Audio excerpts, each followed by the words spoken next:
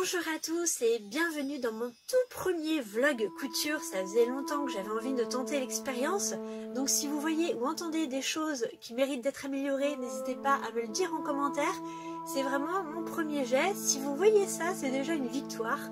Parce que ça veut dire que j'aurais posté, c'est-à-dire que j'aurais fait au moins le premier épisode. Pour me présenter, euh, je suis Fée Vagabonde. Je fais du cosplay depuis 2006. Euh, depuis quelques années, je m'intéresse aussi aux costumes historiques et j'aime bien mixer les deux, faire l'un dans l'esprit de l'autre et inversement. Enfin, surtout faire du cosplay dans l'esprit historique, pas trop l'inverse en fait. Sans plus tarder, parlons du projet. Donc ça faisait longtemps que je cherchais le projet parfait pour faire un vlog, c'est-à-dire pas trop complexe pour que je puisse euh, gérer et pas trop ennuyeux non plus pour que ce soit intéressant pour vous quand même. J'ai enfin fait mon choix, ce sera un cosplay de Lady Mechanica de Jo Benitez et ce sera la robe de bal qu'elle vole euh, dans le tome 2. C'est une robe absolument magnifique. Ça faisait longtemps que je voulais une robe de princesse. Mais là, c'est une robe de princesse dans mes couleurs. C'est parfait, c'est absolument parfait. Le coup de cœur a été immédiat. Alors comme je suis une grosse patate, j'ai commencé euh, à, la, faire euh, sans filmer parce que l'idée de faire un vlog était encore un peu floue. Donc vous ne verrez ni la crinoline, ni le jupon,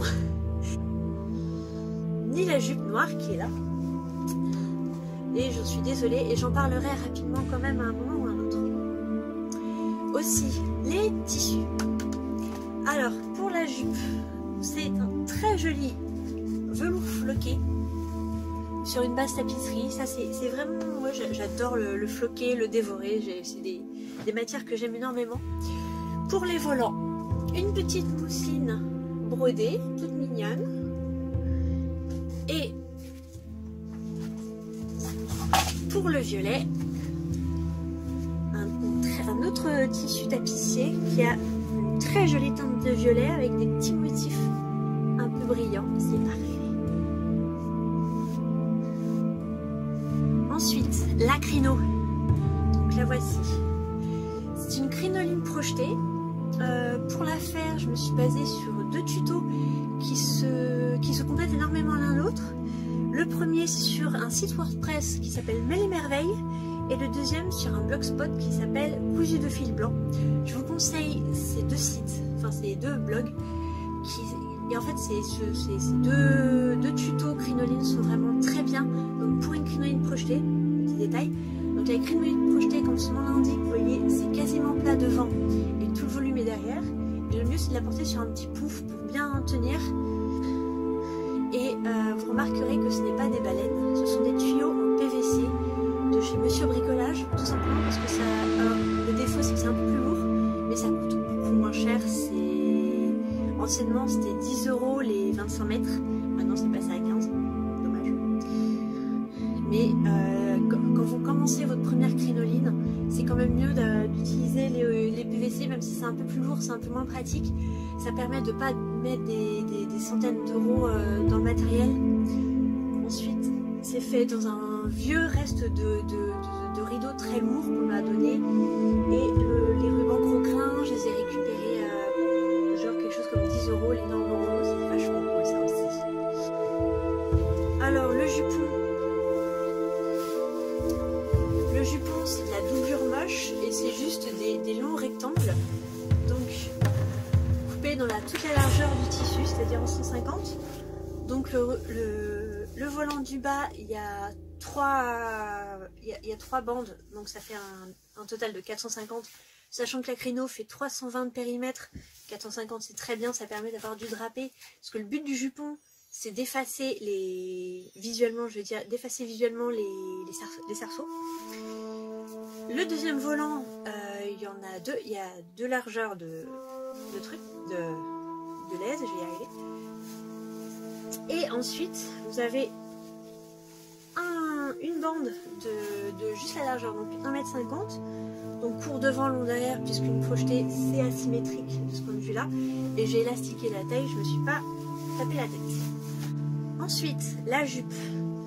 Donc la jupe, la jupe noire, elle est, elle est en trois panneaux, donc deux panneaux dans toute la largeur du tissu, c'est-à-dire en, chacun en 250 de large.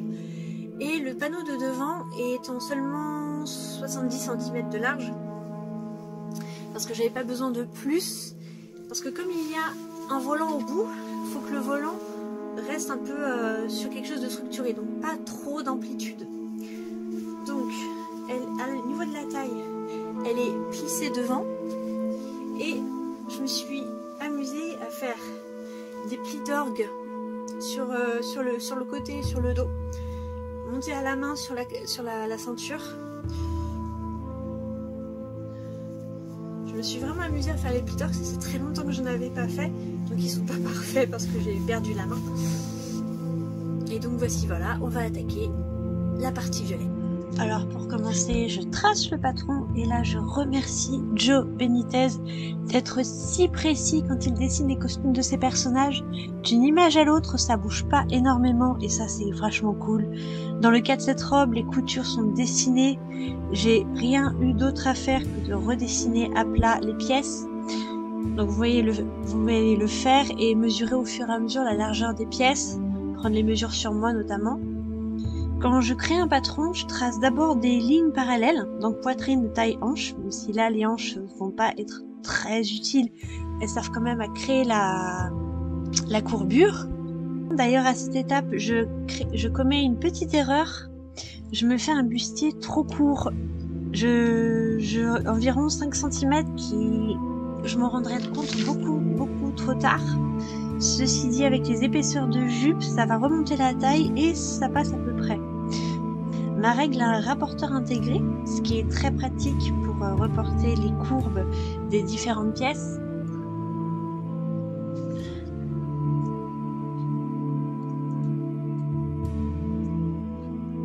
J'utilise ma base de patronage pour les emmanchures, elle date du lycée, je les utilise toujours autant.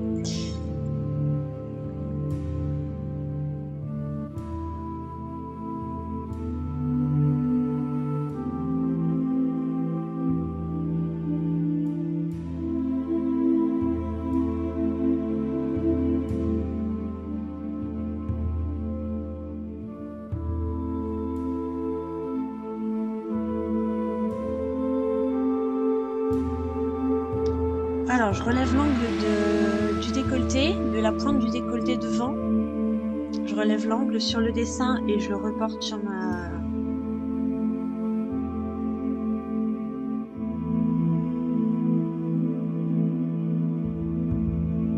Et grâce au rapporteur de la règle, je continue le, le décolleté jusqu'aux emmanchures.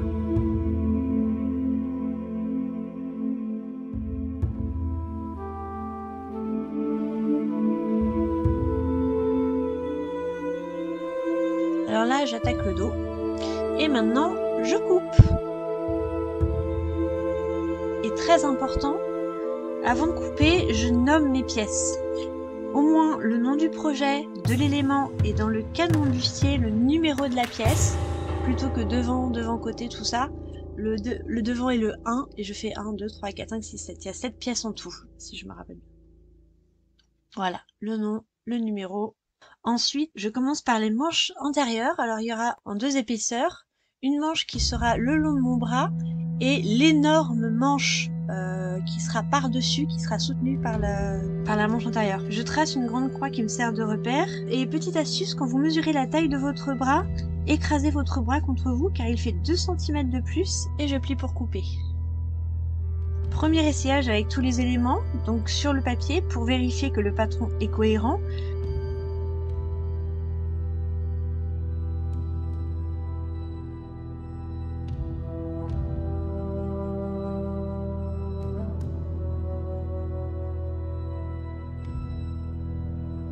Je trouve que le bas est un peu moche, donc petite modification, je remonte les emmanchures.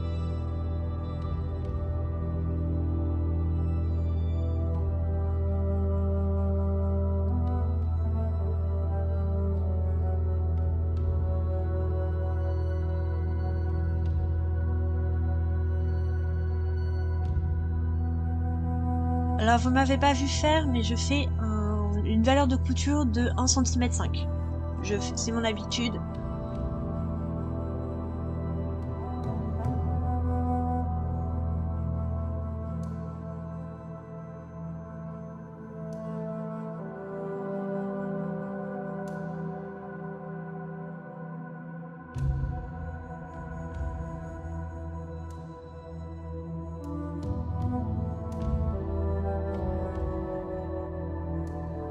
Alors, je commence à couper dans la doublure qui servira de toile d'essai.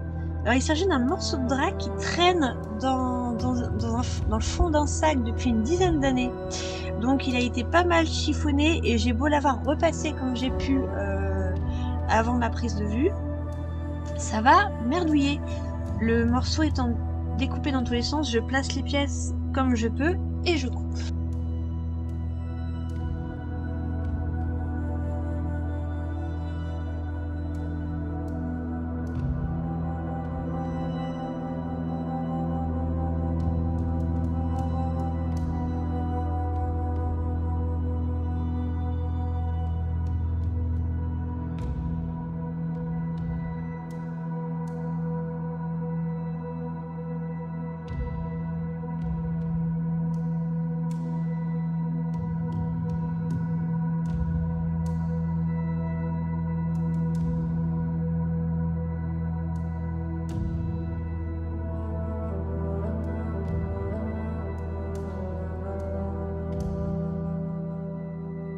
J'assemble.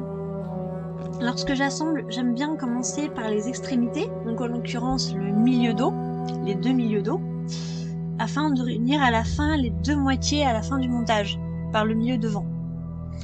Donc je fais 7, 6, 5, 4, 3, 2, 1.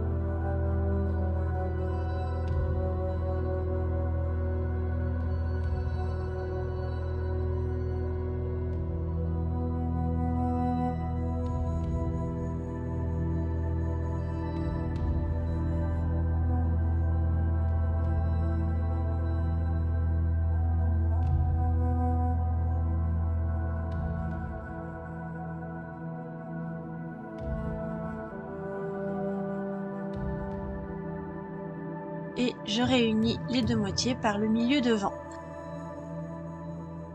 Petit essayage sur le mannequin pour vérifier que le tout est cohérent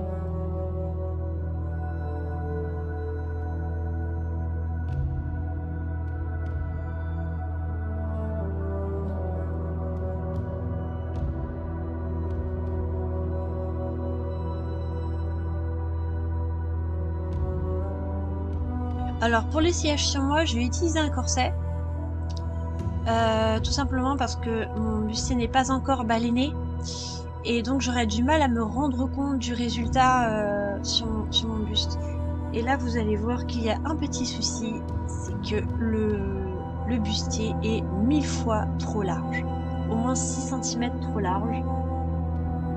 Petite surprise, l'explication c'est que le tissu donc était tellement froissé que même repassé, euh, il se détendait énormément sur moi. Donc ce que je vais faire, je vais réduire les pièces de, de 1 cm par-ci par-là, en repiquant le, le long des coutures existantes. Et ça le fait à peu près.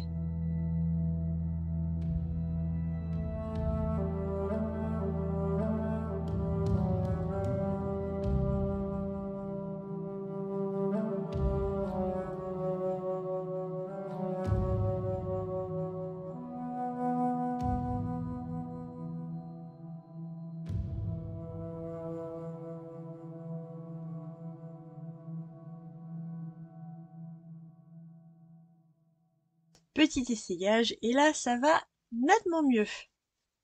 Nettement, nettement.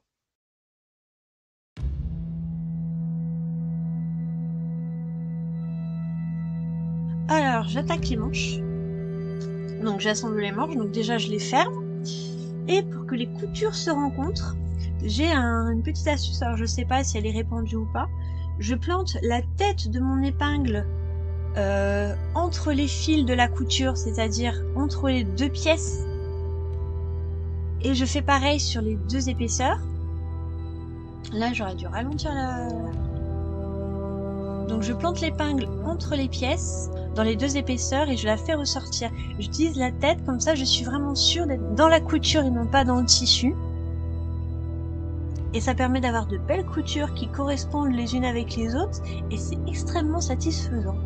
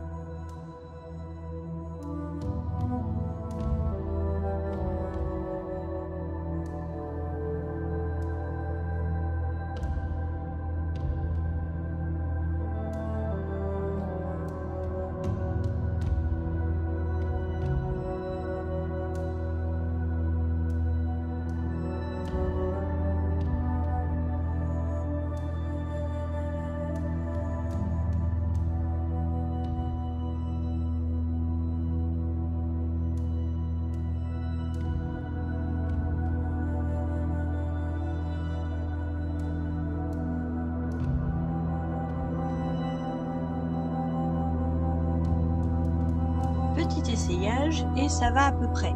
Alors le défaut, c'est que j'aurais beaucoup de mal à lever les bras, mais c'est une robe de balle, je vais pas faire du tir à l'arc. Et j'attaque la coupe dans le tissu extérieur, donc ce magnifique violet tapissier.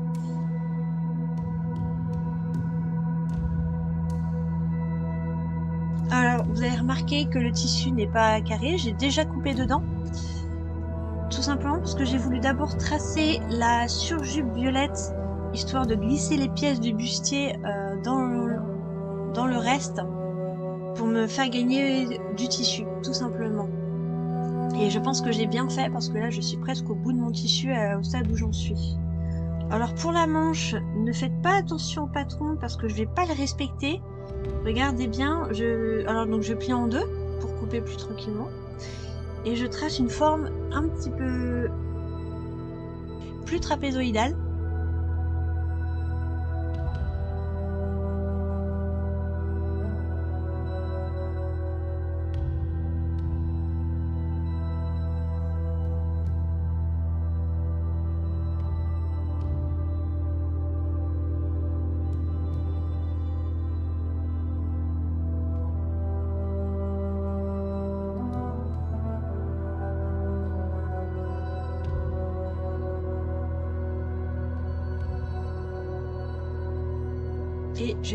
de couper les petites pièces du bustier. Et oui vous remarquez la magnifique présence de fils électriques un peu partout. C'est parce que c'est un vieil ordi à ce moment là qui, qui, nécessite pas mal de branchements à la con. Vous inquiétez pas entre temps les choses ont changé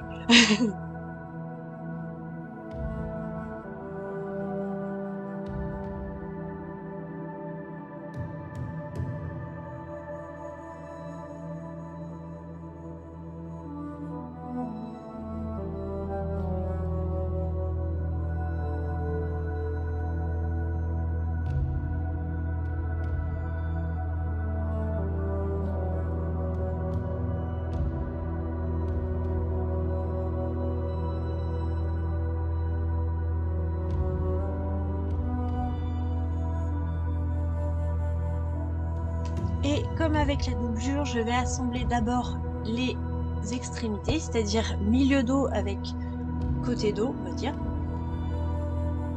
En faisant super attention à bien utiliser l'endroit, enfin à coudre bien endroit contre endroit, car ce tissu a un endroit et un envers.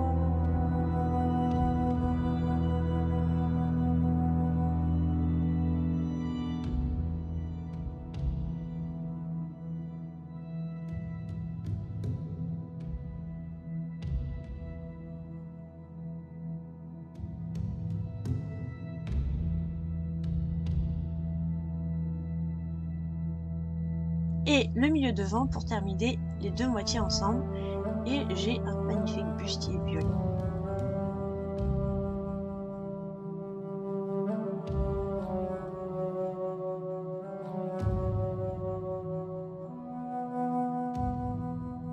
Ensuite les manches, donc déjà je les ferme et je vais les assembler au bustier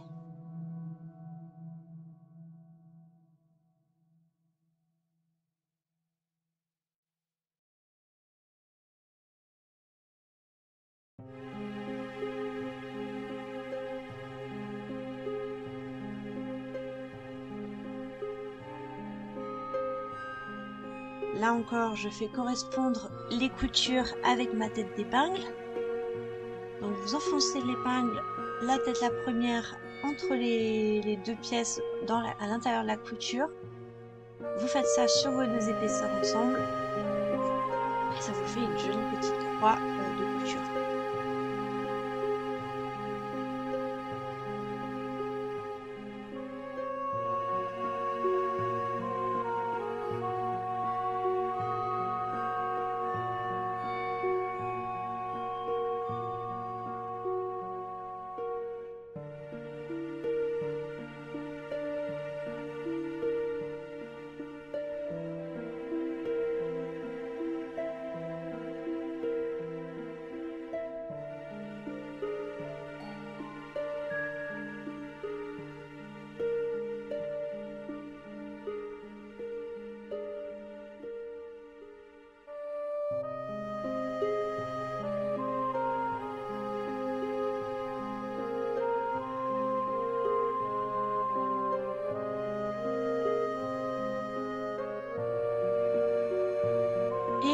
Je range proprement mon patron dans le petit tiroir et je repasse couture ouverte.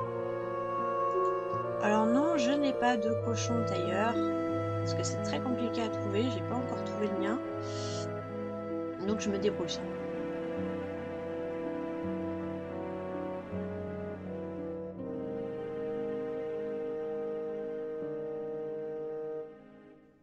et je trace les couloirs à baleine. Vais en mettre pas beaucoup. J'ai envie que ce bustier soit relativement léger à porter. Donc, dans un premier temps, j'utilise un crayon critérium parce que je trouve ça beaucoup plus précis qu'une craie tailleur. Donc, pour les baleines qui font à peu près 1 cm 2, je crée des couloirs de 1 cm 5, histoire de ne pas forcer dans le tissu quand je glisserai mes baleines. Il y aura 4 baleines dans le dos parce que je veux ne pas me prendre la tête et fermer par un lassage D'habitude, je préfère euh, fermer par des agrafes devant, comme pour Belle et pour Christine Day, et ça me permet de m'habiller seule.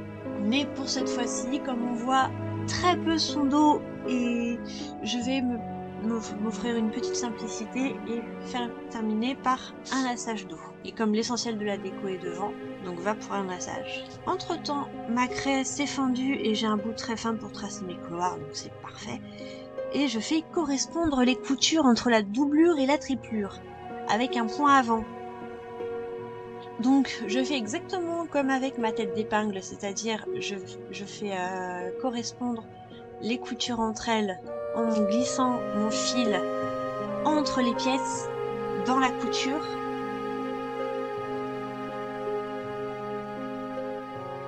Je fais ça milieu devant, côté devant, près de, des manches, là où il y aura, partout il y aura des baleines.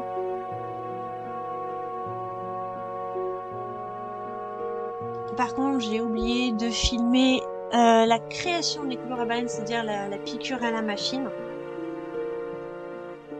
Mais c'est pas très grave, c'est juste bêtement coudre le long du trait dessiné. Enfin, mais c'est pas très grave, c'est bêtement piqué le long du tracé.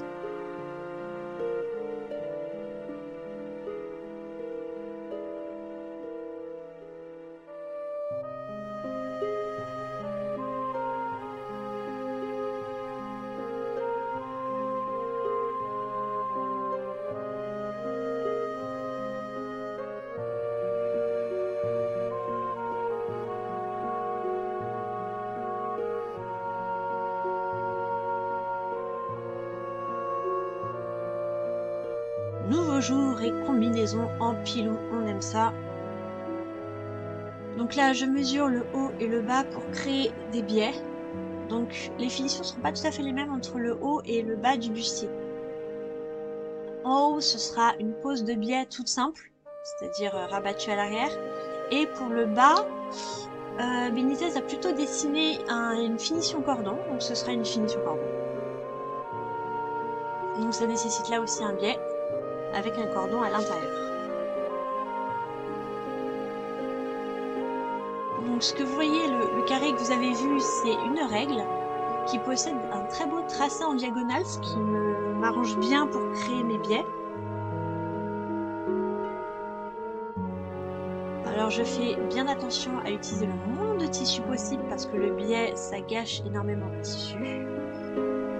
Et j'attaque la finition cordon. Donc pour commencer je mets le milieu de mon biais sur la pointe avant du bustier, à la pointe du bas pour faire moitié-moitié, pour faire milieu, pour être au milieu.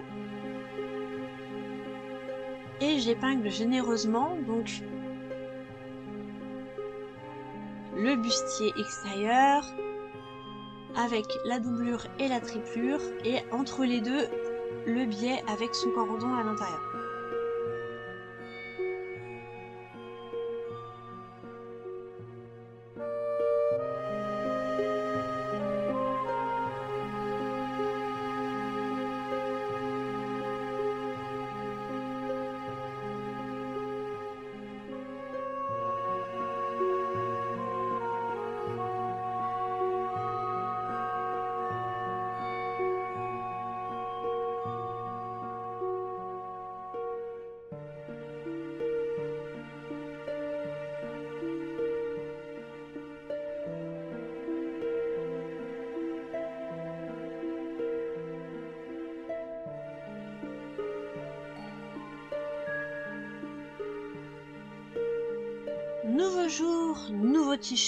Donc là, j'assemble tranquillement toutes mes épaisseurs, c'est-à-dire la doublure, la triplure, le biais avec son cordon et le bustier. Et ma machine à coudre est absolument ravie. Alors, il y a un espèce de faux contact dans ma machine, donc des fois la lumière s'allume, des fois elle ne s'allume pas. C'est très chelou.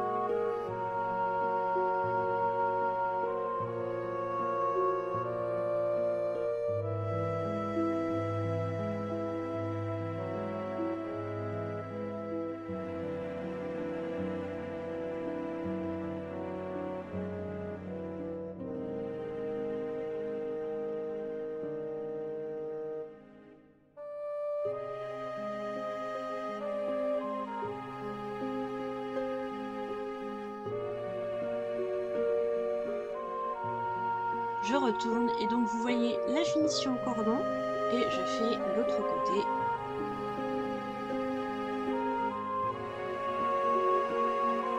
Donc j'assemble le milieu dos, l'extérieur avec les triplures. Petite astuce pour avoir de beaux angles sans coup de ciseaux. Vous pliez proprement vos valeurs de couture, vous pincez le tout et vous retournez sans lâcher. Et cette, astuce est trouvable sur YouTube. J'ai recherché justement, je me suis dit, bah, ça existe, donc c'est bon.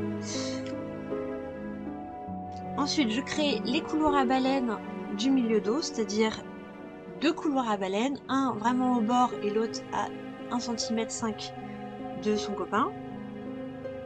Et je reste vigilante à bien respecter le centimètre 5 et je vous présente mon petit chien qui s'appelle Zelda. Je présente ma petite minette. Vieux toutou de 15 ans que j'aime et qui, qui supervise les opérations manifestement.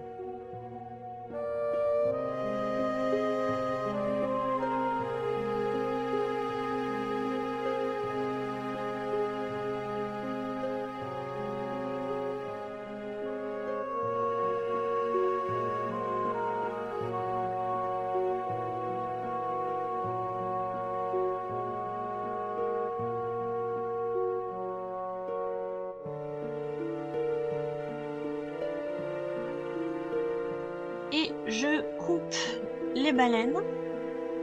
Donc, plutôt que de me prendre la tête, je mesure directement sur mon bustier en cours. Et oui, je sais, c'est pas très malin de couper du métal avec un petit chien qui se balade juste à côté et qui risque de se le prendre, mais je ne l'ai pas vu. et je les lime avec une lime à métaux et la caméra est ravie. Place les baleines dans leur petit couloir. J'assemble la manche intérieure et l'extérieur par le bas. Je commence par faire correspondre les coutures ensemble. Puis je plisse l'extérieur pour faire correspondre les deux largeurs, puisque là l'extérieur est beaucoup beaucoup plus large que l'intérieur.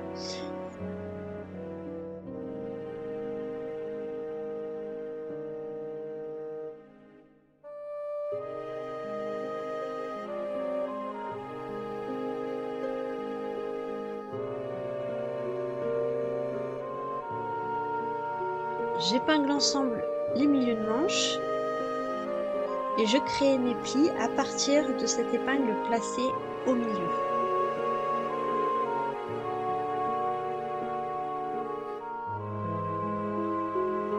Comme vous le voyez, j'utilise le, petit mètre ruban scotché à mon bureau pour que, les, pour que les plis soient symétriques, fassent la même taille les uns les autres. Et j'assemble délicatement à la machine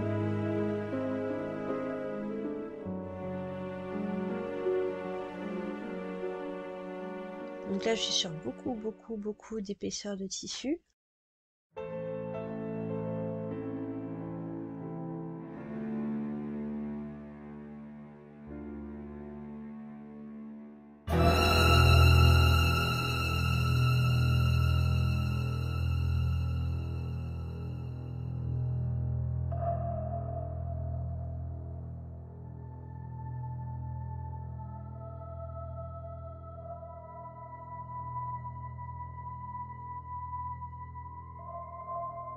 Pareil avec la deuxième manche, l'épinglage, le milieu au niveau de la couture et le milieu sur le dessus du bras. Je crée les plis à partir de l'épingle du milieu du dessus du, bras et j'assemble les bas de manche.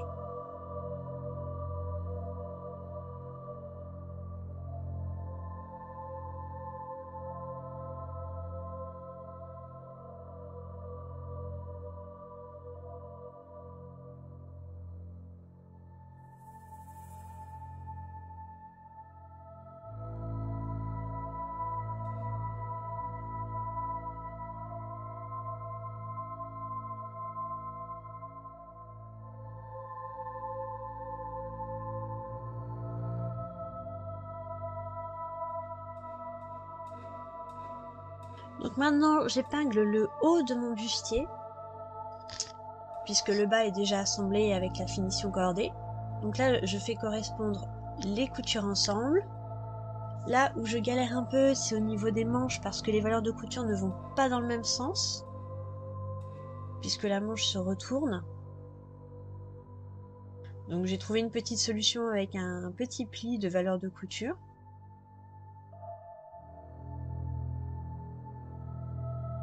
Et là aussi, je crée des plis au niveau des manches. Donc, comme pour le bas, j'épingle au milieu dessus du bras et je crée des plis autour de, de chaque côté de cette épingle.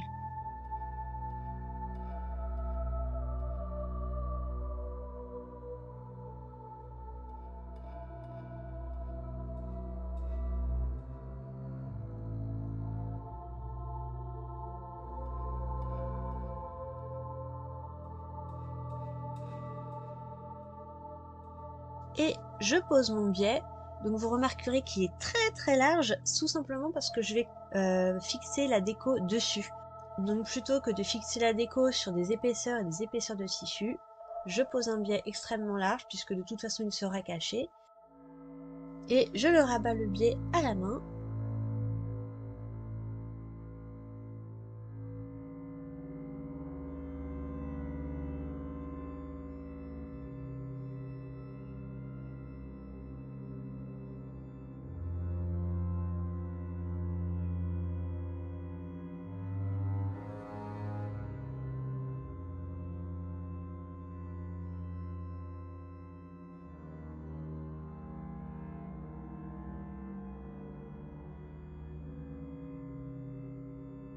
Et là, j'ai mon assistante préférée qui vient m'aider.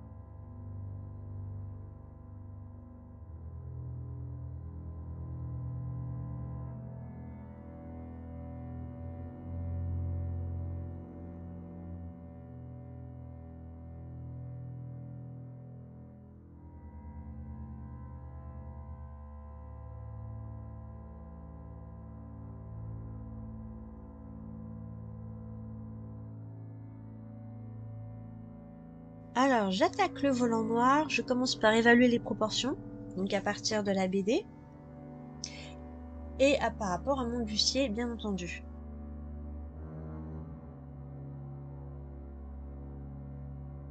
Alors, ce qui est bien, c'est que vraiment le costume d'une d'une page à l'autre ne bouge pas énormément. Donc, ça reste extrêmement cohérent. J'ai quand même créé des costumes beaucoup plus casse-pieds de ce point de vue-là.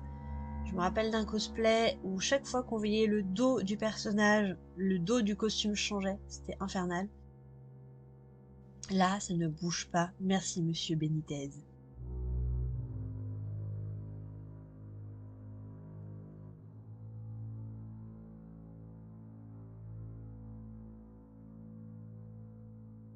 Alors, plutôt qu'un patron papier, je trace directement à la crétailleur sur sur la mousseline. Donc là, mon tissu est plié. Et je vais utiliser toute sa largeur parce que la proportion me paraît pas mal pour, pour, un, pour un volant pas trop foncé non plus pour pas avoir l'air d'une grosse, euh, d'une grosse meringue. Alors par contre j'ai oublié de filmer mais je ferai un tout petit petit tourlet à la main tout autour de mon volant, en haut, en bas, à côté et je l'ai posé à la main sur mon, bustier, sur le biais du bustier, en fonçant, euh, en respectant les milieux. Avec la technique des milieux, milieux, milieux, milieux. Je me décide enfin à poser mes œillets. Donc je trace des repères tous les 3 cm au crayon parce que je trouve que c'est plus précis que la crétailleur. Euh, pour les, les œillets, j'utilise la marque Mediac qui fait de super œillets et surtout un super outil.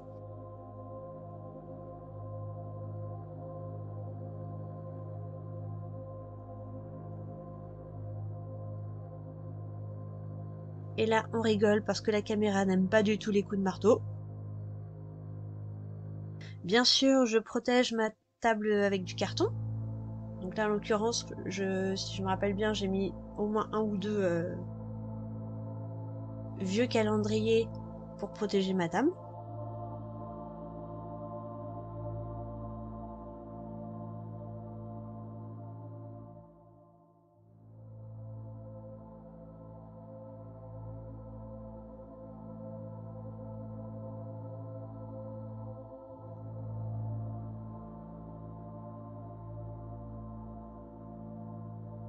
Maintenant, je m'attaque aux dernières décos, donc les nœuds des manches.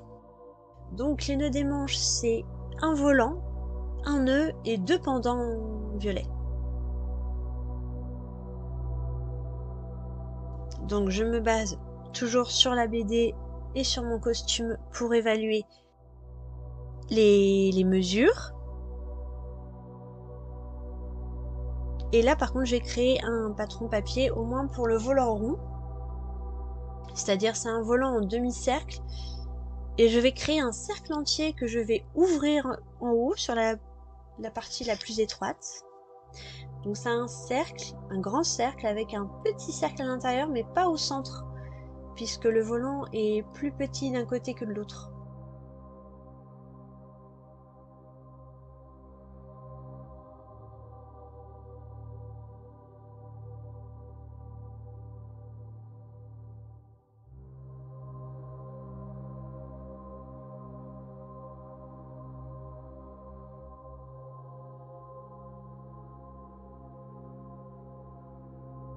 Je plie pour couper.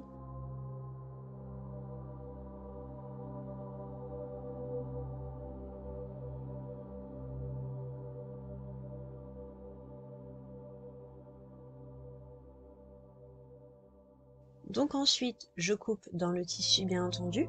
Donc vous remarquez que le petit cercle au milieu est donc excentré donc à droite de l'écran, vous voyez, c'est le haut du volant qui sera ouvert.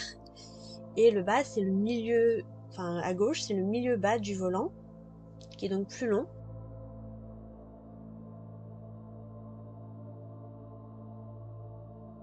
Donc pouvez vous remarquer mes magnifiques poids de couture qui sont en réalité des serre-livres que ma meilleure amie m'a offert avec des têtes de chien.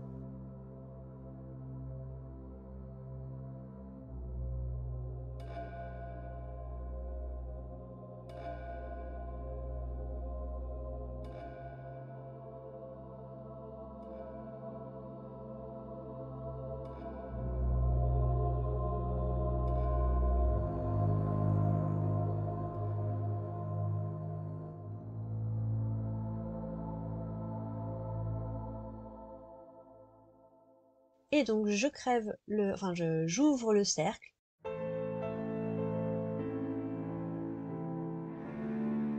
Mon volant sera quasiment pas foncé en haut puisque comme c'est un grand cercle, il n'en a pas besoin. Et donc j'épingle généreusement mon petit tourlet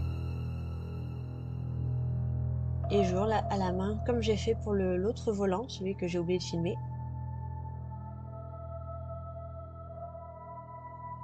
Et évidemment, j'ai une super assistante qui vient me m'aider émotionnellement à faire ce long et fastidieux travail. Parce que faire un petit tourlet à la main sur une courbe, nom d'un chien.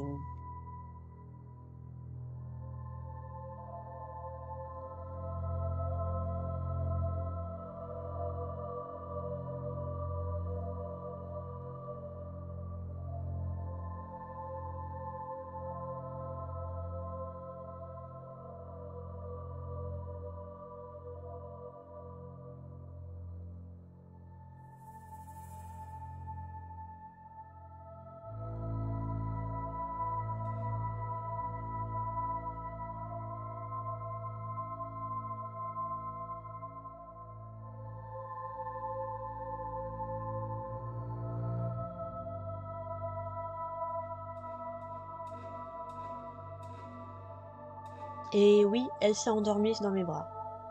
Voilà, mon chien adore la couture.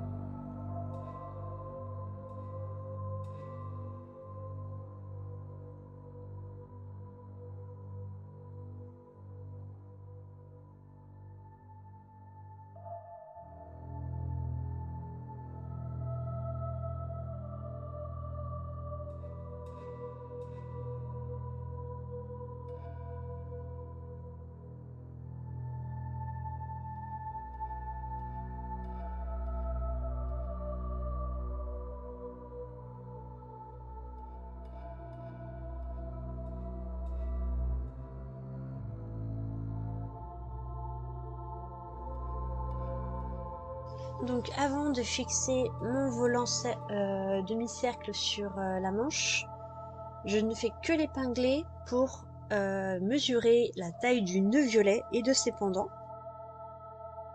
Donc comme toujours, je me, je me sers de la BD et de mon bustier bien avancé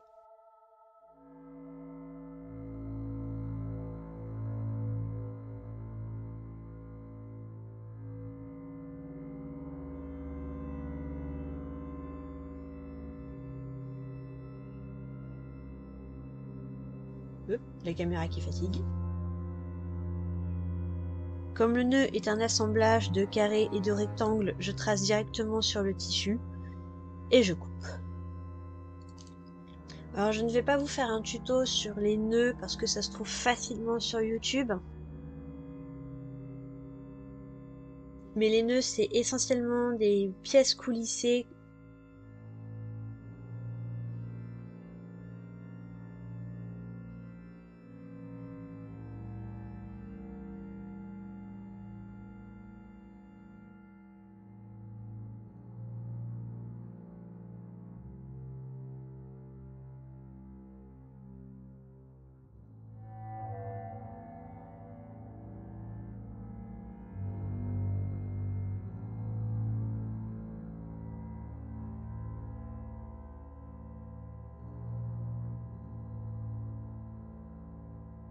Donc j'assemble les pièces des nœuds, les pièces des pendants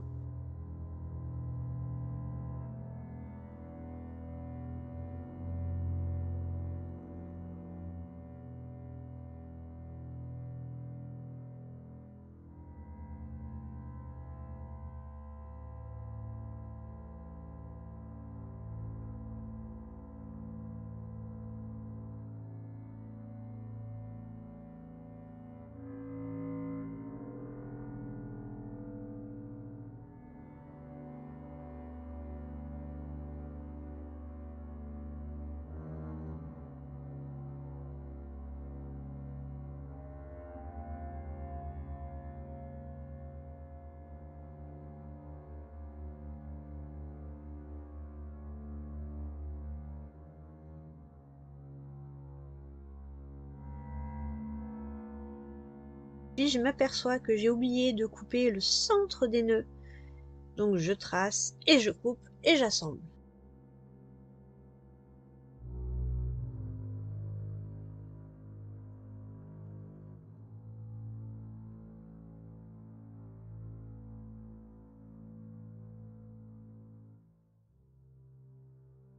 Donc je plisse, je fais un petit pli d'un centimètre au niveau des pendants violets et je les assemble avec le volant noir et le centre du nœud, ça fait une énorme épaisseur, ma machine adore.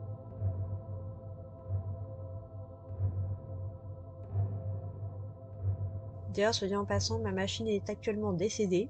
Je ne sais pas si c'est la faute de ce costume ou d'une robe que j'ai fait ensuite mais ma machine ne fonctionne plus. Voilà. RIP.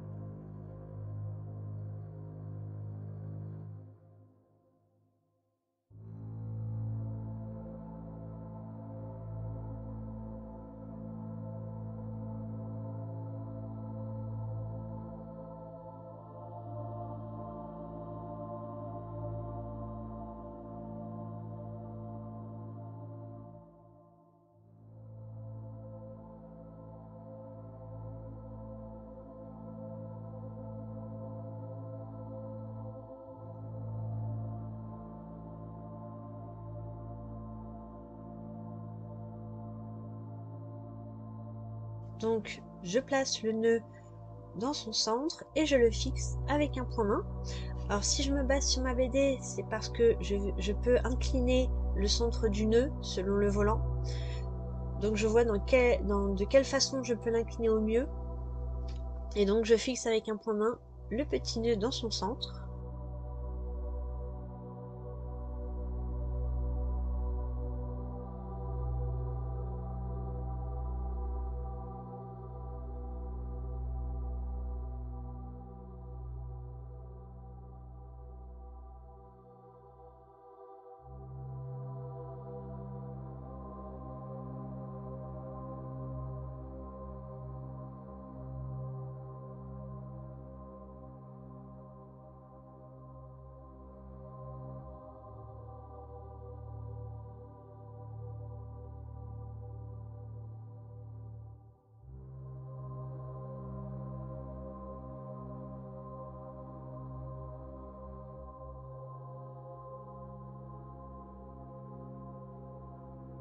Et donc je place le nœud, ses et son volant noir sur mes manches.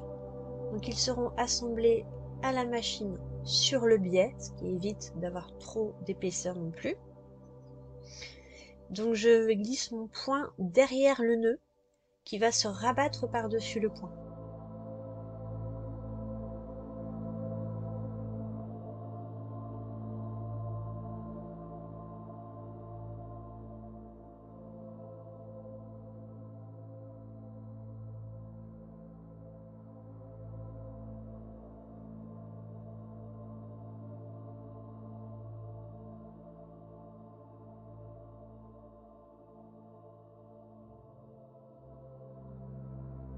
Et voilà, on est bon pour le bustier. Alors quand cette vidéo sortira, sachez que la robe est déjà terminée. Alors il reste pas grand chose vu que j'ai pas filmé la jupe tout ça. Donc la robe et ses accessoires sera terminée. Mais j'ai quand même filmé les accessoires. Donc à la prochaine.